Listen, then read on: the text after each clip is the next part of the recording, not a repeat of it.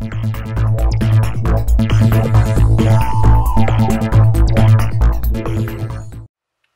YouTubers, welcome back to another one of my videos. In this video I'd like to show you something that I came across while going through my storage unit. This is something that I made many years ago. And I made this for testing fuel injectors. I had a problem and I thought one of my fuel injectors may be leaking.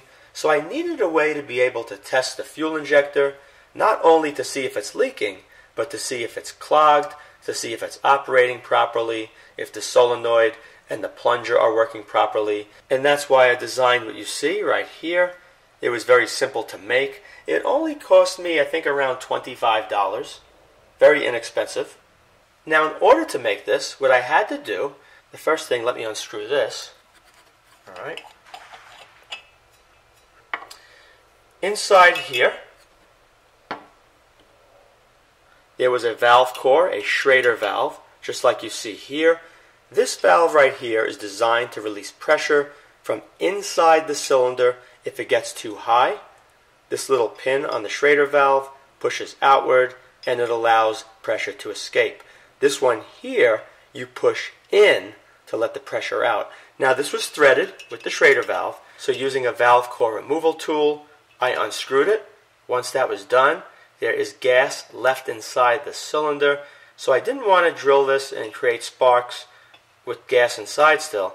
So what I did is I put water inside this cylinder, filled it about this high, right around here, and once that was done, I drilled out the opening so it's about 3 eighths of an inch in diameter. And by doing that, I could pour fuel injector cleaner or carburetor cleaner inside the cylinder about halfway. You're going to leave this part up here empty. That's going to be pressurized, 50 psi of air pressure, allowing the cleaner to go through all the tubing here, through the ball valve, and out the nozzle. Once that hole was completed, I left the water inside and then I put my finger over the hole, turned it this way, and then I drilled a half inch hole right over here, straight into the cylinder, and then I drained everything out, including the shavings. I rinsed it a few times, and it was all ready to go to connect up everything you see here. I then took a fitting like you see right over here. It's a 3 8 inch barb by quarter inch male pipe thread fitting and I inserted it into the cylinder. But first I scraped away all the paint on the cylinder because when I go to braze this, it has to be perfectly clean. Now if you're not familiar with brazing or the materials that I use, definitely going to want to check out the video up here, circle with the eye, and you'll also see a link posted at the end of this video showing exactly how it's done. It's very simple.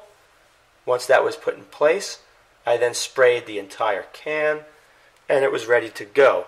Now over here, what I did is I drilled a hole inside this brass cap. The hole had to be big enough to accommodate this portion right here of this tire valve. Picked this up in Walmart. So you want to make sure it's a little smaller than the diameter right here. And you shove it in this way and you pull it until it pops into position. And you're going to use that to pressurize the entire cylinder once it's screwed on top. Now, the fitting here, the threads I should say, are a little more coarse than what's on here. Luckily, it does thread on at least a full turn, and in order to make this seat nice and tight on this top rim, I added one flat rubber washer and applied a little bit of silicone grease, as you can see right there. When you put it on top, all right, Look at that, going on nice. And I just tighten it down with the wrench. It seals perfectly. You don't have to worry about it blowing off. Now to finish down here what I did, you don't have to do this exactly as I did. There's going to be one change you can make here. But I did it this way because you need to have room for this valve to open and close. You could turn it the other way if you want, but I wanted this to have the room because if I put a nipple, quarter inch nipple that goes into the cylinder, leave the quarter inch male pipe sticking out. Took this valve and threaded it on right here. The handle would hit the cylinder. So what I did is I had a bunch of parts laying around, which were all quarter inch male pipe by 3 8 inch barb, So that's exactly what I did here. Used one on this side, and I used a quarter inch male pipe by 3 8 barb on this side, joined it together with a braided vinyl hose, which is 3 8 The ball valve I picked up at Harbor Freight, very cheap. I think it was $3.50.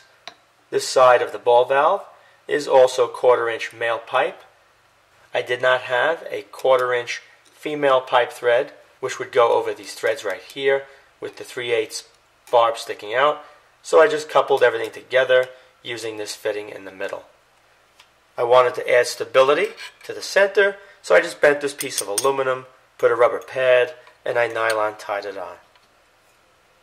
On the very end, right here, hose clamp onto the barbed connector, and right here, this goes onto the fuel injector. Let me take this off and show you.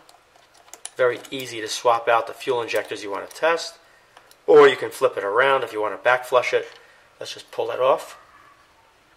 Alright, let's pull that off right here. And over here you would normally see an O-ring. This part goes into your fuel supply rail right here. And on the bottom there'll be another O-ring with possibly a hard piece of plastic on the end. That's what it's going to look like. And over here, this is a closer look at this nozzle. You can see a better picture right over here. You definitely want the valve because it allows you to swap out different injectors without having to depressurize the cylinder every time you do it. Okay, so this would go right back on, very easy. And if your injector size is different on the end, just put an adapter right here to change the hose to the size that you need. Now if you'd like to check the windings of the solenoid and you don't have a setup like this, it's very easy you would just take a resistance measurement between the two pins you see right here. And a typical reading, because these do draw a fair amount of current, is going to be between 12 and 20 ohms. The good thing about this setup is that if I don't want to use this for fuel injectors, I could take this clamp off right here, connect up a small vinyl hose, maybe one from like a kitchen faucet with a spray nozzle, put a liquid inside here, pressurize it, and have a nice portable spray unit. Fuel injectors are normally triggered by the computer using pulses. Longer pulses will supply more fuel to the engine, and shorter pulses will supply less fuel. To do the test I'm about to show you, we don't have to do that. I do have a video on my channel which shows how to make a PWM circuit or a pulse width modulation circuit that you can drive this with but we're only going to be taking this little setup I made here using two alligator clips or jumper wires. This would go back in here. Alright. Of course the clamp would be tightened. This would go there. This would go here. Make sure they don't touch each other. And this goes to either your power supply unit or your car battery to test. Once it's connected, you then open up the valve. Make sure there's no gas leaking out. If there isn't, that's great. You don't have a leaky injector. And then you can click this on and off to see how the injector fires and what the spray looks like. Okay, let me give you a quick demonstration. Okay, to demonstrate, I'll be using my power supply unit set for 12.65 volts which is the same voltage as a fully charged lead acid battery. Inside the cylinder, I'm not going to be using carburetor cleaner or fuel injector cleaner.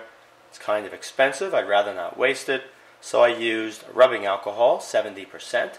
Once I poured the rubbing alcohol inside, I tightened this back, and then I made sure 50 psi of pressure was put inside the cylinder.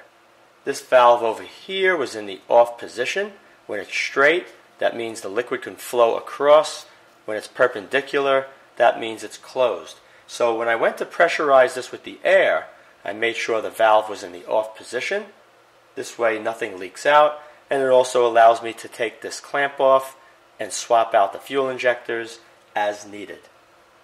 Now there are many types of fuel injectors. Each one has a different pattern that is sprayed out. What's important is that the fuel is highly atomized. The smaller those droplets are, there's going to be more surface area of the fuel in contact with the oxygen in the air, allowing for the best combustion inside the cylinder.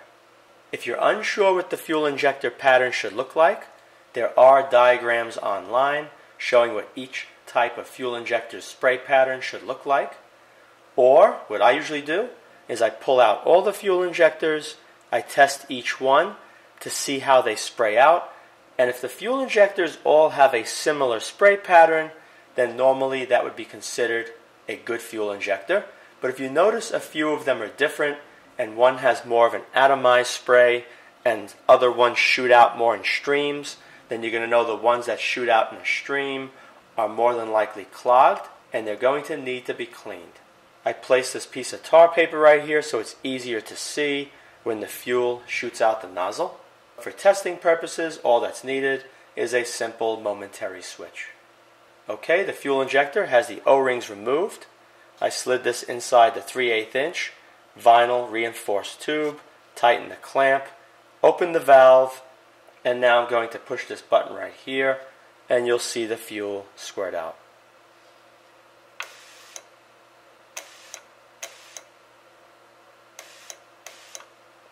If you notice that some fuel was flowing out of the end of the nozzle, before you push the button, that would indicate a leaky fuel injector. And sometimes you can correct those by using the carburetor cleaner or fuel injector cleaner inside the cylinder. And you could flip this around, supply power. You could back flush it and keep flipping it.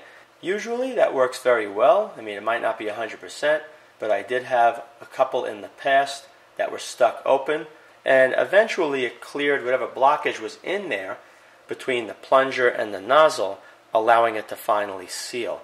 You could try that, but if that doesn't work, the only other thing that you can do is take the fuel injector out and place it in an ultrasonic bath for about 15 20 minutes.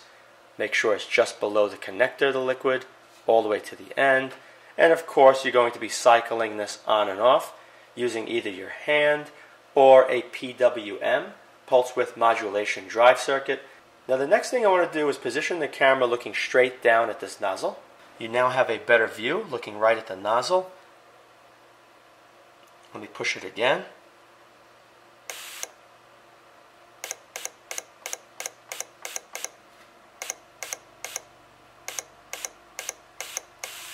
Alright, now as you can see, the cone is coming out nice and symmetrical. So the angle of the cone from here to the right and from the other side going outward looks good. The only thing with this fuel injector, you notice the middle is lacking a fuel spray. It's only two jets shooting out. Let's see here again. You can see each one of those jets there, there, and there. And there should be more in the center. But I'm not too sure with this particular fuel injector because in order to tell if that's the right pattern for this one, I would have to compare it to all the other ones in the engine to see if they flow exactly the same.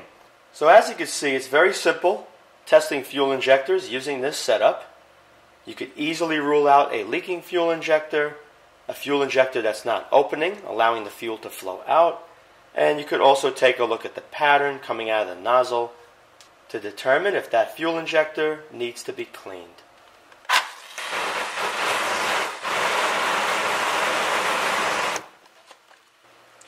I hope you enjoyed this video. If you did, be sure to rate it a thumbs up, subscribe, and post links to this video on other websites and blogs.